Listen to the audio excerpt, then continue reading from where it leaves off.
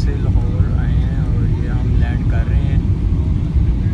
Lama Iqbal international airport पे। और खैर वाफियत से हम ये लैंड कर गए हैं। लामा इकबाल इंटरनेशनल एयरपोर्ट पे हम साथ में और साथ में बहुत ही प्यारे भाई हैं